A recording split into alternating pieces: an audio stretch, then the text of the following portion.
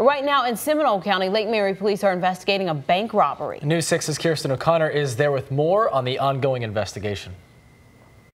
Lake Mary police say before this bank even opened this morning, they got a call from inside tipping them off about a robbery in progress. They're the ones that put it in motion. In, in my book, they're like the saving grace of the day. Police say minutes after that 911 call around 8 a.m., they were in the bank parking lot, one officer even running after the suspect before he hopped into a getaway car.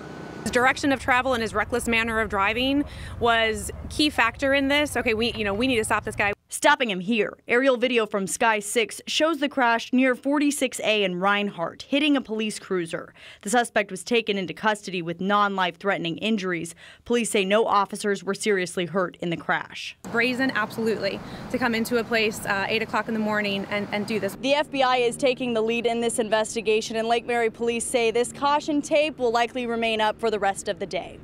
Reporting in Lake Mary, Kirsten O'Connor, News 6.